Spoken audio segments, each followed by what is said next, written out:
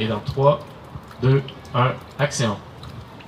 L'histoire, c'est euh, l'histoire d'un jeune de 13 ans euh, qui est un personnage inspiré de moi, euh, qui voit son père être déployé en Afghanistan pour la première fois.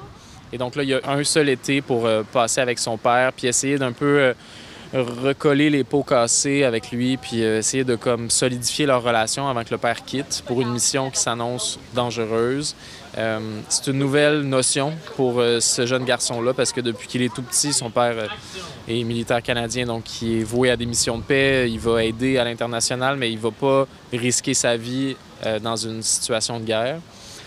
Donc la politique et cette politique-là changeante du gouvernement canadien vient comme ébranler le jeune à travers sa vie quotidienne avec sa mère, son frère, son équipe de soccer et son père qui devient le coach de son équipe de soccer pour justement se rapprocher de lui.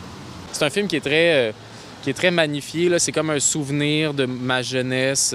Donc c'est très beau, c'est très comme euh, euh, travaillé esthétiquement, mais ça reste que c'est aussi très réaliste parce que c'est tous des faits vécus ou des expériences très intimes. Donc, tu sais, il y a quelque chose de très réaliste, je pense, dans le traitement. Puis le fait de tourner vraiment dans les vrais lieux, euh, ça rend ça encore plus réaliste.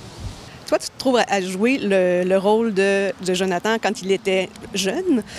Comment ça s'est passé, cette relation, cet apprentissage-là de, de jouer quelqu'un qui est devant toi? Euh, mais je pense que j'ai compris euh, le personnage avec euh, les lignes, comment il était écrit.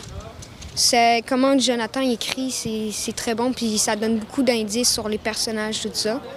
Puis c'est pas mal, je pense, lors de ma première audition que, j'ai eu un déclic. Moi, ça m'a. C'est un rôle que je voulais vraiment beaucoup. Parce que, tu sais, on tourne sur une base militaire. C'est. Genre, je connaissais des gens qui, qui faisaient les auditions, tout ça.